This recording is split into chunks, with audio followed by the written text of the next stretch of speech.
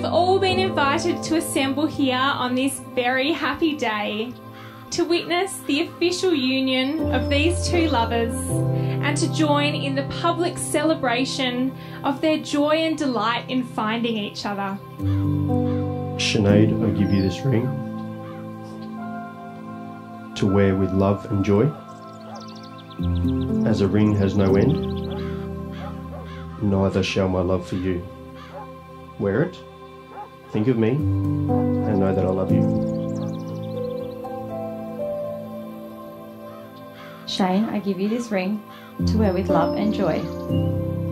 As a ring has no end, neither shall my love for you. Wear it, think of me, and know that I love you.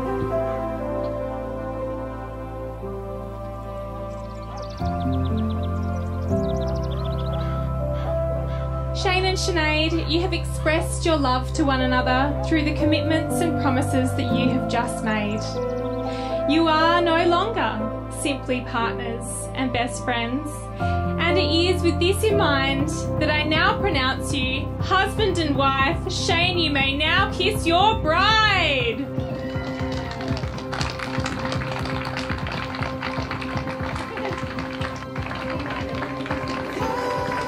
Without any further ado, it gives me great pleasure to present to you Mr. and Mrs. Carley.